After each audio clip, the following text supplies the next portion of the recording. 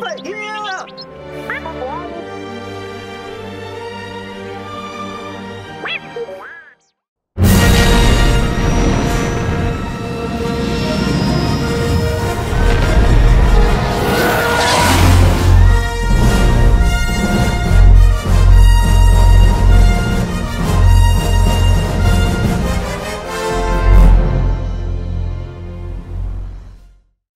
สวัสดีครับ สวัสดี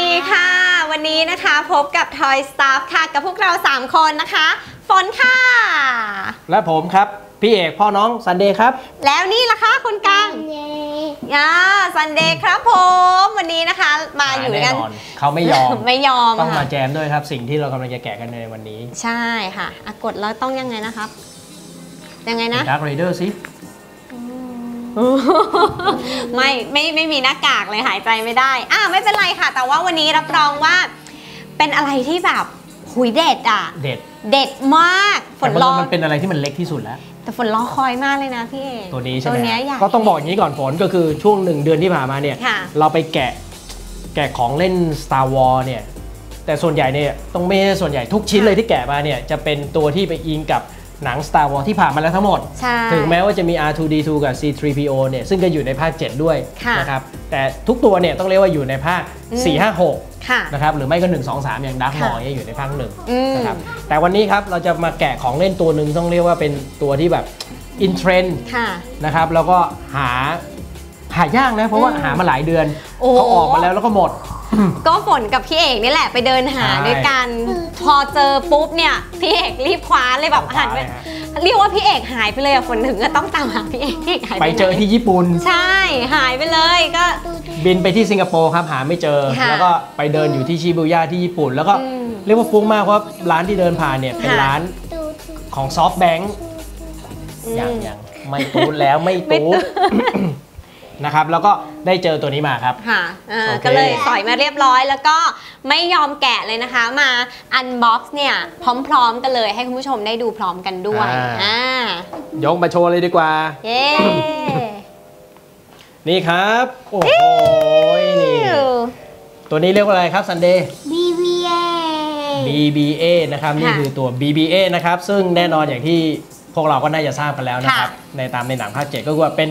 ดรอยตัวใหม่เป็นหุ่นยนต์ตัวใหม่ที่จะไปอยู่ใน Star Wars ภาค 7 ค่ะเออนะครับที่ที่บอกว่า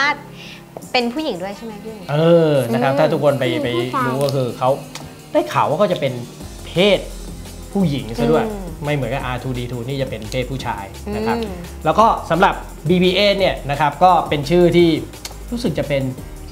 JJ เนี่ย JJ อับรามซึ่งเขาเป็นผู้กำกับค่ะนะครับก็คืออยากจะมี character ตัวเนี้ยแล้วก็รู้สึกจะอยู่กับนางเอกของหนังเรื่องนี้นะครับคือเรย์อ๋อนะครับถ้าเราอยู่ใน trailer เลยเราจะเห็นแล้วเขาเริ่มวิ่งมาอืมโอ้ยอยากให้ออกให้ออกนี่ต้องซื้ออืมสเกลหนึ่งต่อหนึ่งวิ่งตามแบบน่าค่ะรักมากเลยกลมๆ แล้วก็เออทำไมถึงเป็น BBA รู้ไหมทำไมอะคะฝนดูสิเพราะอะไรคะมันจะคล้ายๆเลขแปดอ๋อ ใช่นี่เห็นไหมฮะจริงๆอย่างเงี้ยด้วยเขาจะเรียกว่าอ่าว่าเป็นอ๋อจริงๆด้วยอ่า8 นะครับเป็นรอยค่ะนะครับอ่แล้วก็ BBA เนี่ยจริง ๆ ต้องบอกว่าบริษัทที่ผลิตเนี่ยเป็นนี่เลยครับ Speedway Spiro นะครับบริษัทที่ผลิตเนี่ยเป็นบริษัทเดียวกันต้องเรียกว่าด้วยความบังเอิญคือผมซื้อตัว Spiro ตัวเนี้ยมาจากอเมริกาเมื่อต้องเรียกว่าปีที่แล้วละค่ะพาน้องซันเดย์ไปเที่ยวนี่แหละ แล้วก็ซื้อมาอืม2ตัวโอ้นะครับ Spiro แล้วก็ Spiro เนี่ยบริษัทก็ชื่อบริษัท Spiro ด้วยค่ะนะครับเป็นบริษัทที่เปิดตัวของเล่นตัวเนี้ยในงาน CES ค่ะ ที่อเมริกาเมื่อสัก 2-3 ปีที่แล้วนะครับอืมแล้วทางดิสนีย์ก็ไปเจอค่ะก็เลยมีอยู่ปีนึงก็เลยเชิญทางเจ้าของบริษัทค่ะนะครับทั้งสองคนเนี่ยเชิญเข้าไปแล้วก็เปิดเผยข้อมูลเกี่ยวกับเรื่องของ Star Wars ว่าอยากจะมีตัวของเล่น ก็เลยออกมาเลยเป็นตัวนี้แหละครับค่ะของเล่น Star Wars BB-8 ซึ่งต้องเรียกว่า โอ้โหฮอตฮิตมากอืมก็เป็นเป็นตัวที่ต้องเรียกว่า เดี๋ยวเราจะมาดูกันนะนะครับอืมว่า ทำไมมันถึงฮอตทำไมมันถึงฮิตอ่านะครับเดี๋ยวเรามา unbox กันเลยดีกว่า เฮ้แกะได้เลยใช่ไหมคะ ครับเฮ้แกะก่อนจึ๊กเฮ้โอเคบนกล่องนะครับ เรารีวิวก็นี่แน่นอนนะครับ แล้วก็เป็นของเล่นที่ใช้กับทั้ง Android แล้วก็ iOS ด้วยก็คือว่าค่ะของเล่นตัวเนี้ยจะต้องใช้มือถือบังคับ อ๋อ มันบังคับไม่ขับได้ด้บัวงคับยแล้ววิ่งได้ด้วยโอ้ยมันถึงเจ๋งไง ต้องเรียกว่าคนก็ถึงแย่งกันนะครับ ก็อ๋อ ใช้ทั้ง Android แล้วก็ใช้ทั้ง iOS นะครับโอ้ยวิ่งได้ด้วย อยากเห็นเดี๋ยวเราจะมาดูข้างในกันเลยครับว่าพ่อครับบินได้ไหมบินได้ไหมบินได้ไหมพี่ฝนว่าบินไม่น่าได้นะโอเคแกะกล่องออกมาปึ๊บโอ้โหกล่องก็เจ๋งแล้วว้าวมันมีกายโกนี่นะครับแล้วก็เปิดกล่องเนี่ยมาปึ๊ดโอ้โหเดี๋ยวครับเดี๋ยวครับเดี๋ยวครับเดี๋ยวครับโอ เคงั้นอ่านซันเดลออกเลอะย จะเดียวออกเลย โอ้ปึ๊ดโอ้ยทำไมมันเป็นอย่างนี้เนี่ยอุ้ยมีเสาอากาศด้วย อย่าพึ่ง เอาวางก่อนวางก่อน เอาวางก่อนวางก่อนวางก่อนอะเอาฐานออกมาด้วยอ่า เอาฐานออกมาสิให้ดู โอ้เจ๋งอะเออหนุ่ยมันยากปึ๊บ โอเค แล้วก็วางมันมาตรงนี้ อืม แล้วมันมีมีอะไรมาอีก แล้วมันมีแล้วก็มีกล่อง แค่นี้นะครับ ครบแล้ว BBA เฮ้ที่แกะกล่องมาก็จะมีหัวค่ะ ดรอยซึ่งตรงเนี้ยก็ถ้าเราจำกันได้ หัวนี่จะก๊อป R2D2 มาให้ค่ะ หัวจะแบบกลมๆนะครับ แล้วก็นี่ก็คือตัวฐานเขาเดี๋ยวผมต้องหาจุดก่อนว่าตรงไหนเป็นที่หนัก โอเคสรุปนี่หนักปุ๊บโอ้โหนี่ก็จะเป็นแม่เหล็กนะครับอืมดูดได้เลย และตรงนี้ก็คือ แท่นชาร์จนั่นเองอ๋ออ่านี่นะครับ ตรงนี้จะมีเสียบไฟเป็นแท่นชาร์จค่ะโอเคแล้วเราก็วางเข้าไว้ข้างบน อืมและแกะกล่องมาครับ ในนี้เป็นอะไร อันนี้เป็นอะไรครับ น่าจะเป็นสาย USB มีไหม ไหน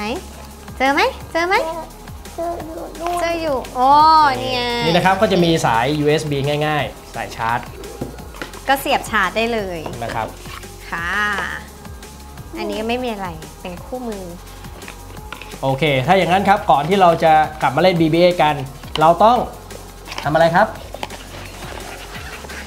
ไปชาร์จไฟก่อนได้เลย เพราะตอนนี้ BBA แบตหมดครับ อ๋อ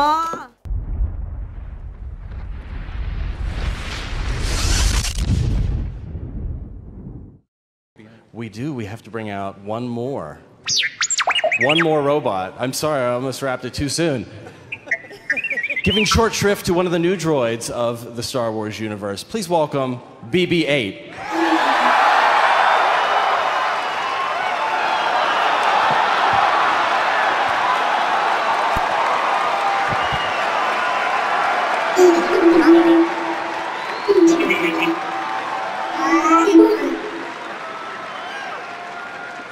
So, uh,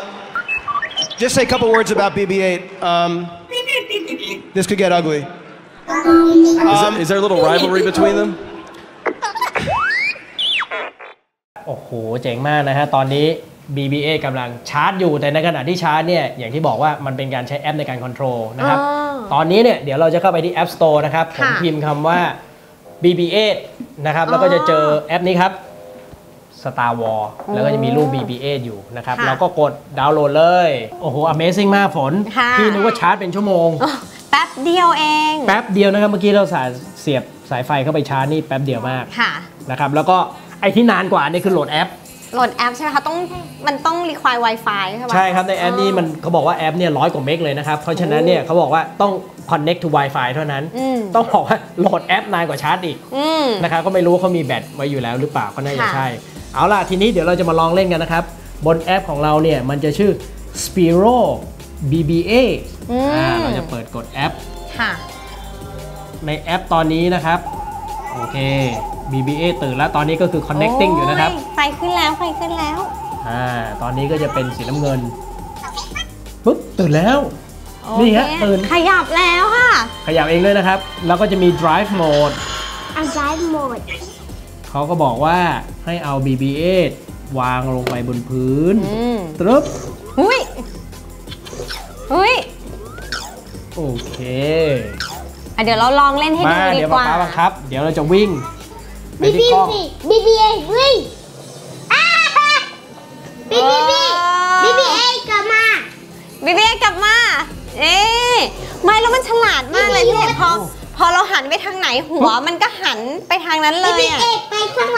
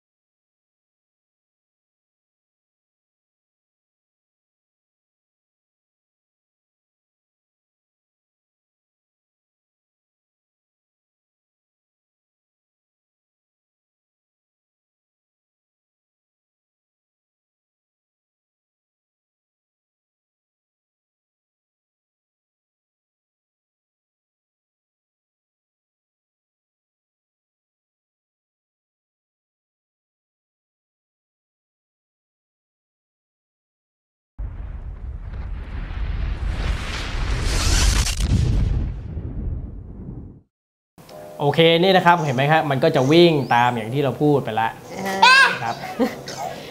อ่ากลับมากลับมากลับมาปึ๊บโอเคอะเดี๋ยวฝนถือไว้ชัดก่อเสีนยงโอเคค่ะแล้วก็ในฟีเจอร์นี้นะครับ นอกจากโหมด Drive ก็จะมีโหมด Message ก็จะอัดเสียงอัดวิดีโอของเราเข้าไปได้ด้วยนะครับค่ะแล้วก็มี Patrol Patrol ก็คือว่าให้ BB ไปวิ่งตระเวนลาดตระเวนแล้วกันนะครับของเขาเอง แล้วก็มี setting อื่นๆนะครับ แล้วก็เท่าที่อ่านมาเนี่ยน่าจะมีแอปอื่นๆของของตัว BB-8 ให้เราเล่นได้อีกอืมมากมายแต่คล้ายๆตัว Sphero ครับ Sphero ก็จะมีแอปโอ้โห4 5แอปเลยให้เราเล่นค่ะต้องเรียกว่าเป็นแบบ ของเล่นไฮเทคเนอะใช่ไม่รู้ค่ะเขาทำได้ยังไงอะเนาะเนี่ยหัวฝนชอบตอนที่มันวิ่งไปวิ่งกลับคือมันจะไปทางไหนมันก็หันหน้าใช่เนี่ยแล้วมันเหมือนมันเหมือนฟังเราเนาะพี่หญิงเนาะครับ หัวมันดุกดิกดุกดิกน่ารักดีนี่นะครับก็ต้องเรียกว่าเป็นสินค้าสุดไฮเทคอีกสินค้าหนึ่งอืมเอาไปนว่าสำหรับแฟนๆที่เพิ่งจะไปดู episode 7เนี่ยอืม ผมว่านี่เป็นของเล่นที่ต้องเรียกว่าต้องเก็บอะต้องมีอะตัวเนี้ย ใช่ นะครับอินแน่นอนแล้วก็น่ารักมาก ๆ ด้วยค่ะ ครับฉลาดมาก ๆ ด้วย ใช่ ใช่อะโอเคซันเดย์อย่าเพิ่งหมดเอาปิดรายการก่อนดีกว่า เวลาครับหมดลงแล้วค่ะ คุณผู้ชมค่ะก็เอาไว้เจอกันคราวหน้านะครัคะบก็จะมีของเล่นนะคะ มาแกะกล่องเหมือนเดิมค่ะ รับรองว่าอลังแน่นอนอคลัรับงแน่นอนค่ะส่วนวันนี้นะคะ เวลาหมดลงแล้วค่ะซันเดย์จะไปเล่นแล้วค่ะคุณผู้ชมอดใจไม่ไหวละฝนนะคะ น้องซันเดย์แล้วก็พี่เอกพ่อน้องซันเดย์ครัต้บองลาแล้วก็ไปอน BBA ครับบ๊ายบายลาไปก่อนครับ สวัสดีครัค่ะ